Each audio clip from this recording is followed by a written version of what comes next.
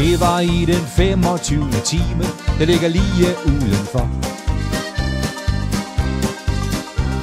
Musikken var forstummet, og jeg vaklede rundt, som man nu gør. Lige ved at falde, og der var gravet sorte huller i min grund. Og der lugtede af rovdyr og af pis. Og pludselig kunne jeg fornemme den herreløse hund. Den herreløse hund. Den herreløse hund. Den herreløse hund Med mit bløde røde hjerte i sin mund. Den herreløse hund Uden snor og ude af kontrol. Knurret, kast din handske, kast din terning, kast en pind, din maske, eller blot dit forbehold.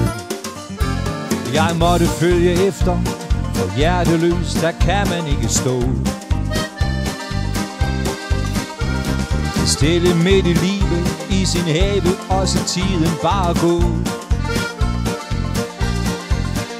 Ingen hale mellem benene, ørerne i vejret og afsted.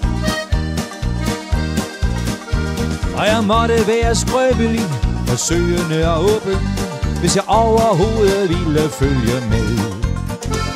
Den herreløse hund, den herreløse hund. Den herreløse hund med mit bløde røde hjerte i sin mund. Den herreløse hund uden snor og ude af kontrol snor, kast din handske, kast din terning, kast en pind, din maske eller blot dit forbehold. Hunden halser ud til havet, smed mit hjerte i det våde sand. Jeg tog det op, den knur og kasten, og jeg måtte med ud på det dybe vand. Der hvor man ikke kan bunde, og derfor ikke rigtig blive stødt. Du kan drukne her og gå til grunde og til bunds Men det er også her, at sangene bliver født. Af den herreløse hund. Den herreløse hund. Den herreløse hund Med mit bløde røde hjerte i sin mund. Den herreløse hund Uden snor og ude af kontrol.